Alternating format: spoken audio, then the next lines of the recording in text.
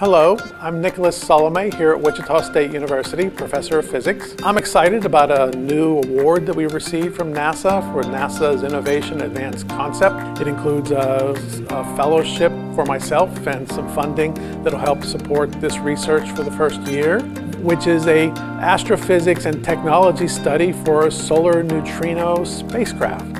The idea being that if we could take a very small neutrino detector instead of these kiloton ones like we have on Earth and we move it close to the sun, then we could look at the sun very close up and the neutrino detector only has to be about 200, 250 kilograms. And that'll allow us to look directly into the core of the sun where the neutrinos are being made in nuclear fusion. My name is Caleb Gumar.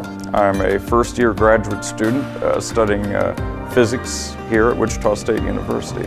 Uh, maybe it just seems to me to be an exceptionally innovative opportunity to be a part of. Certainly very ambitious. I mean, we're trying to do something that is somewhat unprecedented in the sense of trying to, to put a detector in the near solar environment that can detect these neutrinos, which in most other situations we would be trying to build some, again, very, very, very large facility.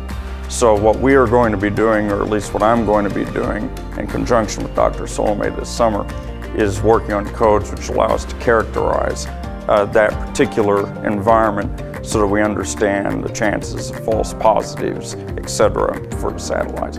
A neutrino is like an electron or any other fundamental particle in the theory of elementary particle physics. They have a very small mass, and there's three different types of species of them. So there's some wonderful things that NASA can do that will allow us to take a new view. And I think this could revolutionize the way in which we study the sun, and it could also give us a wonderful new insights into particle physics that could be learned from these solar neutrinos in such an observatory close to the sun.